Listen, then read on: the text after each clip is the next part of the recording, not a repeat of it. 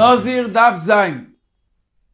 אומרת המשנה, אמר הריני נזיר אחת גדולה. או שהוא אמר הריני נזיר אחת קטנה. אפילו אם הוא יגיד מכאן ועד סוף העולם. הוא נזיר שלושים יום. שואלת הגמרא, מהי? והוא מכאן ועד סוף העולם כאמר.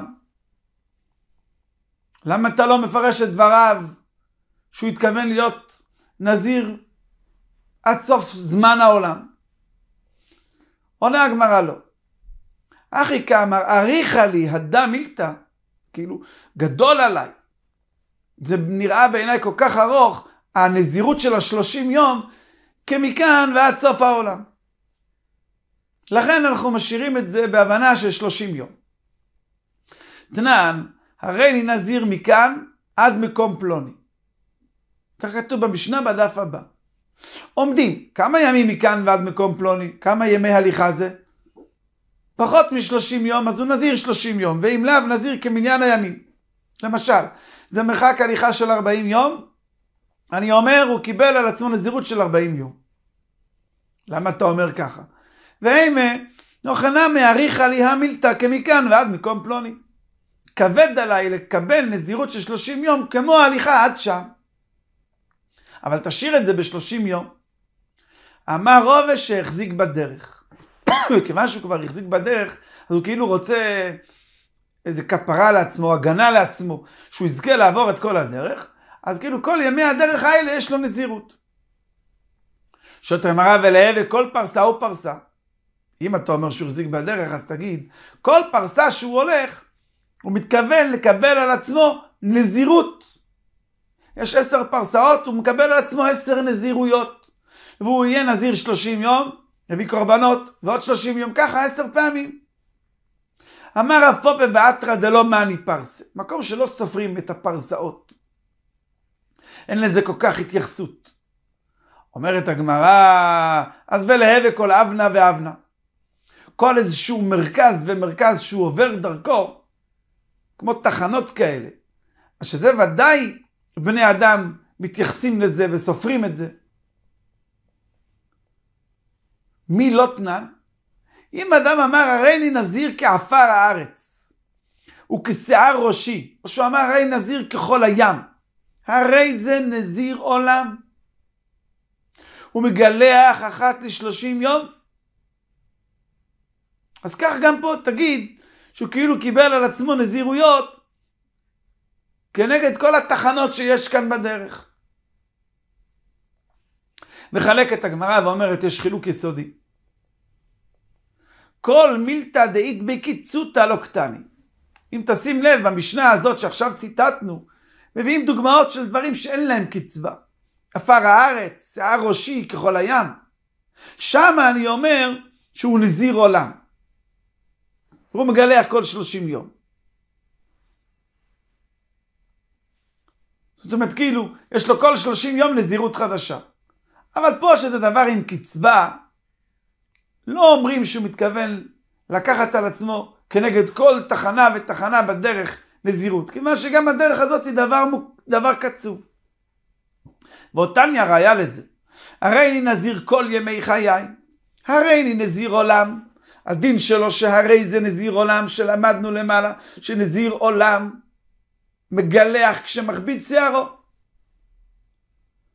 אבל לעומת זה אם הוא הקציב את זה בזמן, אפילו שזה זמן מוגזם, אפילו אם יגיד מאה שנה, אפילו אלף שנים, אין זה נזיר עולם. אלא אם יגיד למאה שנה, זה נקרא נזיר לעולם. זה לא סוג נזירות שנקראת נזירות עולם, אלא זה נזירות רגילה למאה שנה, לאלף שנה. ולא יהיה לו מותר בתגלחת כל ימיו. בכל אופן, רואים שיש הבדל אם זה דבר עם קצבה, לבין כשהוא אומר דבר בלי קצבה, כשהוא אומר כשערות ראשי וכעפר הארץ, ששם אני אומר שכל שלושים יום זה נזירות אחרת. רבי אמר, שייני שערות הואילו מובדלות זו מזו. לכן הוא התכוון לנזירויות שונות. מה שאין כן, הדרך. זה לא דבר מובדל, האבנה, התחנות לא מובדלות זו מזו. הם כולם באותה הדרך. סדנא דהר אחד הוא. אומרת הגמרא גבי יום אינמי הכתיב ערב ויבוקר יום אחד. עונה הגמרא אטם לאו דמפסקה מהדדהו. הימים, הפסוק לא מלמד שהימים מופרדים אחד מהשני. אלא מהי כאמר? יממה וליל אחד יומו, אבל הוא לעולם לא מפסקה מהדדה. כל הימים הם רצף אחד. עד כאן דיברנו ודנו. למה לא אומרים שהוא מתכוון לכמות של נזירויות?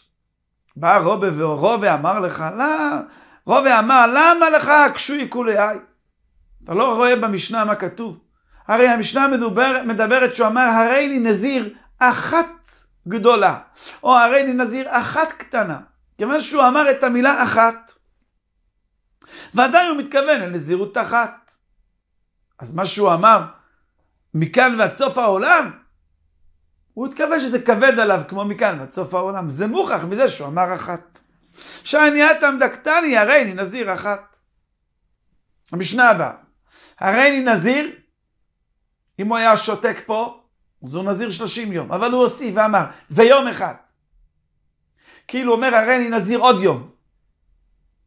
אה, מינימום נזירות זה לא יום, זה חודש. לכן הוא נזיר פעמיים 30 יום. או שהוא אמר, הרי אני נזיר, ושעה אחת. הרי אני נזיר אחת, הוא מחצה. הרי זה, בכל שלושת הדוגמאות האלה, הוא נזיר שתיים. זאת אומרת, הוא יעשה נזירות של 30 יום, יביא קורבנות ויתחיל את הנזירות הבאה עוד 30 יום.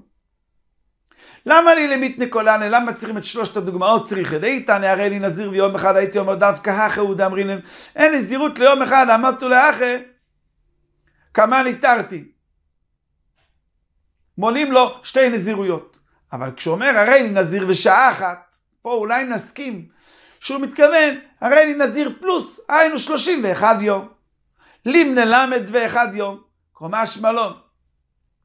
שכיוון שהוא אמר הרי לי נזיר ושעה אחת, שעה אחת זה משהו שעומד בפני עצמו. ומי שמקבל נזירות לשעה, אז הוא בעצם נזיר 30 יום. ואיתן שעה אחת משום דולו נחית לדווקא. אין דבר כזה נזירויות לשעות. אבל אחת הוא מחצה דנחית לדווקא. יש דבר כזה שאדם הוא נזיר 45 יום.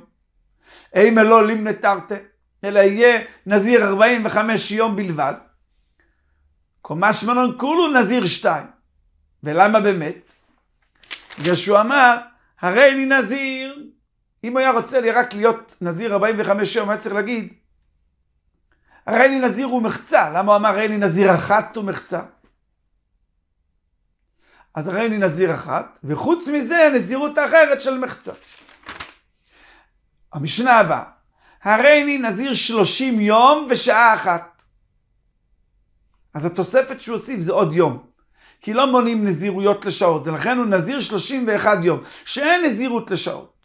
כאן ברור שכשהוא אומר הרי אני נזיר 30 יום ושעה אחת, זה פירוט של איזה נזירות הוא קיבל על עצמו. זה לא עוד משהו.